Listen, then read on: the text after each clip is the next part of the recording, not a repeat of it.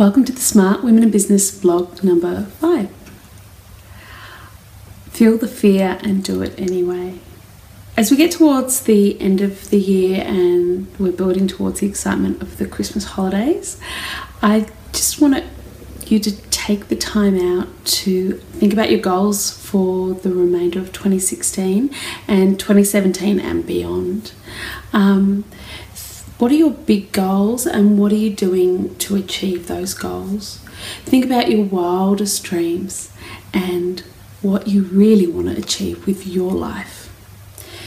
What are you t- doing today to take yourself towards those really big goals? And are you reaching towards them with an emphatic, I can and I will? Or are you putting them to one side and simply saying to yourself that I can't? To quote Marie Forleo, when you say I can't, you are in fact saying I won't. When you say I don't have the time, you're really saying I won't make the time. If you won't make your time, make the time, ask yourself why. What's really holding you back? Have a lot of conversations with clients about big picture stuff, goals, missions, visions, and I also have um, conversations about the micro stuff, the personal stuff, and the not very fun stuff. Um, you've got to get past thinking about where you are in the very present and and tr- try to see beyond any issues or struggles you might be going through right now and for a lot of people, we're often going through um, challenges in our lives. And um, really think about is it going to be a massive issue still for you in 12 months or two years or five years' time? Um, and if you think it is, what steps can you put in place to change that situation for yourself? Or if it is going to be a permanent situation, um, what can you do for yourself to give yourself a better mindset around that. I understand that some people just live with some incredibly difficult situations with their life constantly, but that doesn't mean that you can't set yourself some really incredible goals. Um, even for some people I know, it's just to get through a day in pain or deal with a partner's illness or deal with some real money struggles. And, and that's a very real thing for a lot of people, and I acknowledge that. And, but when we're making the best of a bad situation, um, we still have the opportunity to dream and we still have the opportunity to make the very best of our own life. So I'm constantly pushing clients to be the best version that they that they can be of themselves and to go beyond the barriers that they've created for themselves consciously and subconsciously and smash those mindset obstacles and build the life that they want. So, what are your obstacles? And I'm not talking about those big struggles that people go through that I mentioned earlier. I'm talking about your mindset obstacles. What's your mindset dictating for you right now?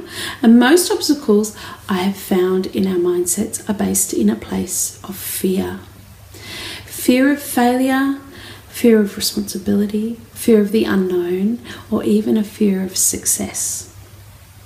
So, what are your barriers? I'm just going to give you a moment to think about those. I could sing, or you can pause the video.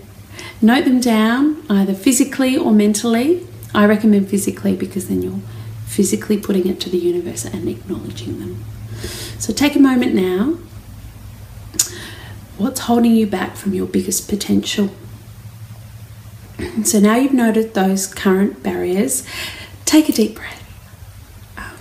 For this is the first step you can take to smash those barriers, get rid of them, obliterate them, and put them to rest once and for all. So, how are you going to do that? Let's take a look at the top three barriers I encounter in working with entrepreneurs. Number one that I mentioned was fear of failure. I can guarantee you right here, right now, that every single human being on this earth has a fear of failure. Even Richard Branson, even Oprah, every single person lives with that. The people we all admire and look up to are the ones who have overcome this barrier um, and come out the other side time and time again. Sometimes with fortunes lost, pride hurt, and always with lessons learned. And you know what I say? Feel the fear and do it anyway. For a life half lived is a life. A life lived in fear is a life half lived. And I can't even remember where I heard that quote from, but I love it. Number two that I mentioned is fear of the unknown. So we live a life of constant unknowns and we never ever know what is going to happen tomorrow. We can predict what tomorrow will bring, but there are absolutely no guarantees. And I tell you what's even scarier living a boring life. Building someone else's dream and working all day at that. You're not here watching this because you thought, oh, yeah, I'll watch a blog about entrepreneurship or mindset and building your dreams because you're happy in your corporate job or your retail job or your admin job. This is your life with your goals, and your happiness is at stake, at stake here. So, if you're taking calculated risks and creating a plan around your next steps, then you can predict the outcome. Just like when we go to sleep, we can predict that we're going to wake up every morning. But when you wake up, will you be happy and excited about the day ahead?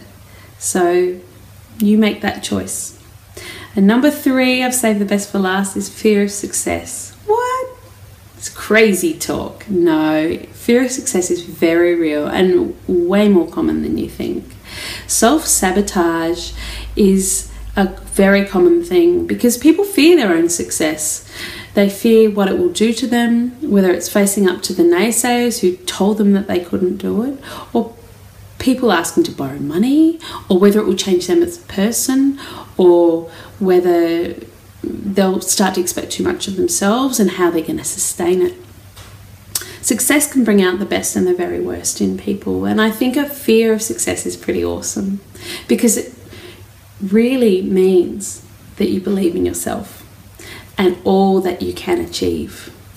So I say take it, run with it, let that ball of adrenaline and the thrill of achieving your dreams, your mini goals, your little goals that you're setting for yourself drive you forward and go get them. So that's my little thoughts on fear.